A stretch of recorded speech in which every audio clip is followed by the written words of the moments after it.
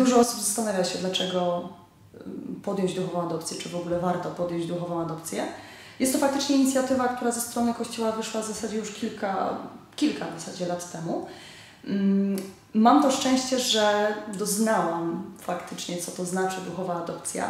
W tej chwili jestem w trakcie czwartej już duchowej adopcji, także jakby co to jestem po prostu mama z dziećmi.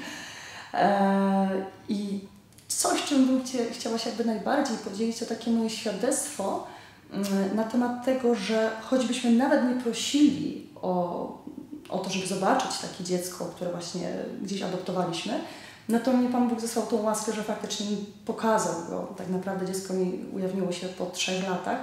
I tutaj jest bardzo ciekawa zbieżność dat, bo się okazało, że akurat y, to przyszło przez sen, akurat sen był wtedy, gdy mm, zaczynał się jakby kolejny okres tej, tej oficjalnej duchowej adopcji w kościele, to było mniej więcej około 25 marca.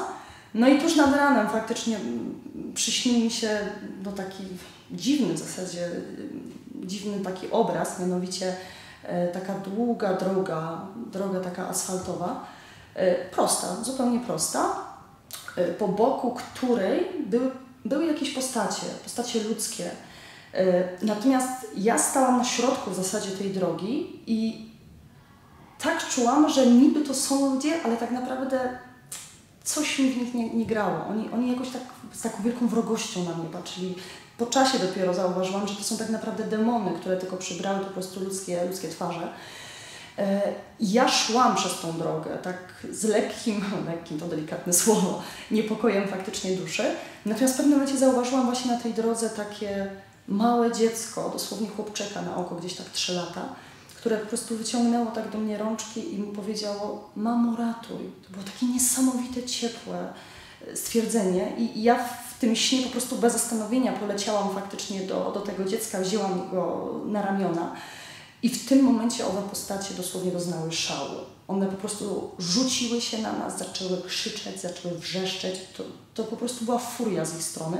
Robiły wszystko, żeby nas dotknąć, podrapać, jakoś zranić w tym sensie. Natomiast to była jakby taka bariera wokół. To nie było w stanie jakby nic do nas dojść. Dosłownie tutaj, około w okolicach ręki, gdzieś, gdzieś te, te demony jakby dochodziły, ale nie były w stanie nas w żaden sposób gdzieś zranić i dotknąć.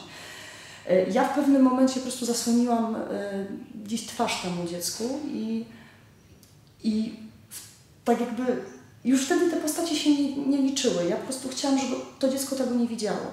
I w tym momencie nawiązał się kontakt wzrokowy pomiędzy mną a tym dzieckiem. To, to dziecko tak na mnie spojrzało, tak, tak troszeczkę nieśmiale, ja na niego też i tak, tak się później przytulił.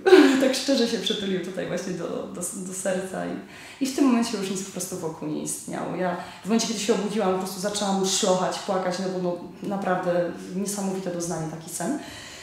Zastanawiałam się, co to w ogóle za sen, bo ja w ogóle tego nie, po, nie połączyłam początkowo z duchową adopcją i dopiero siostra mi uświadomiła, no przecież Angela to by się przyśniło po prostu pierwsze dziecko.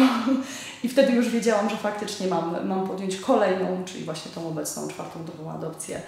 E, to jest naprawdę niesamowite doświadczenie w ogóle trwać w duchowej adopcji. Nie dość, że to nas po prostu umacnia jako wiara, w sensie właśnie wiary, e, no to równocześnie możemy ratować życie ludzkie a co jest po prostu bardziej ważniejszego. No, nie oszukujmy się, to jest, to jest po prostu gdzieś nasze powołanie. W związku z czym e, serdecznie zachęcam naprawdę do podjęcia duchowej adopcji, a szczególnie do podjęcia dodatkowych zobowiązań, ponieważ e, owszem, musimy odnawiać tą dziesiątkę, codziennie modlitwę zawierzenia i trwać w tym przez 9 miesięcy, ale szczególnie ważne jest właśnie podjęcie tego dodatkowego zobowiązania, z tego względu, że to po prostu właśnie nas rozwija, a przy okazji możemy jeszcze zrobić coś fantastycznego dla tego małego dzieciątka. No. Naprawdę niesamowite doznanie, ja tego doświadczyłam i życzę, aby każdy, kto się zastanawia, choćby przechodzi mu gdzieś przez myśl, czy, czy w ogóle warto, ja mówię ze własnego doświadczenia, warto i ani chwili się proszę nie zastanawiać, bo to jest fantastyczne doświadczenie.